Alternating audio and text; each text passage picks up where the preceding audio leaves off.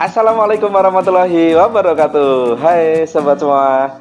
Kali ini kita akan berbagi tips Beberapa cara memakai surban. Ayo kita mulai yang pertama. Dari surban ini Kita buat bentuk segitiga. Segitiga seperti ini. Kemudian bagi bagian atasnya kita buat gulungan sedikit saja. Kita lempar ke belakang ke bagian kepala. Kemudian kita pasang di kepala. Ada ujung kanan. Ujung kanan dari turban kita kita lilitkan. Kepala kita putarkan. Kemudian kita selipkan ke bagian belakang dari kepala kita. Kemudian masih ada ujung satunya. Sama kita buat lilitan. Atau kita lingkarkan kepala kita. Kita selipkan di bagian kepala kita belakang kepala kita. Kita rapikan.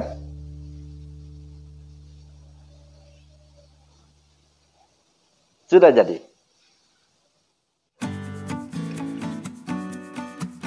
cara selanjutnya kita buat segitiga kemudian kita gulung-gulung.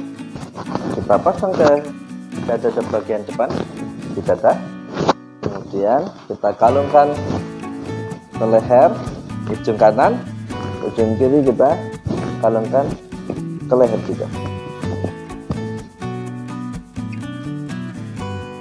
Yang selanjutnya surban yang sudah berbentuk segitiga ini kita pasang di kepala.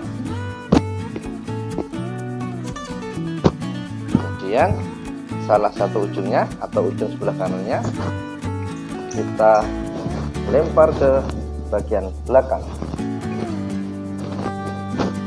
Tutupkan ke dada. Cara selanjutnya kita pakai peci terlebih dahulu. Selanjutnya Sorban yang sudah berbentuk segitiga ini kita buat gulungan kecil sampai ke ujung sorban. Terus gulung terus.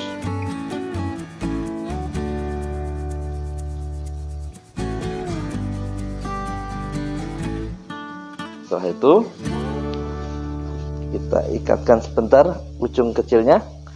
Kita gigit kemudian kita ikatkan perlahan-lahan.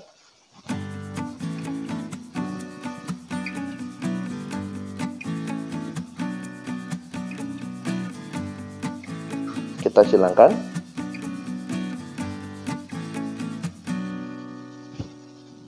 kita selipkan di bagian belakang. Dan biarkan ujung yang ini tetap di bawah Nah selanjutnya dari surban segitiga ini kita pasang di kepala. Agak tarik yang sebelah kanannya. Kemudian kita gulung-gulung sedikit. Kita ikatkan atau dilingkarkan kepala.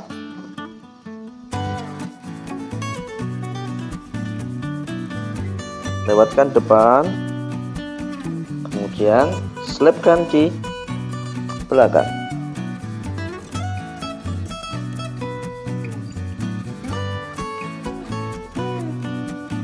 Setelah itu ujung bagian sini untuk penutup wajah kita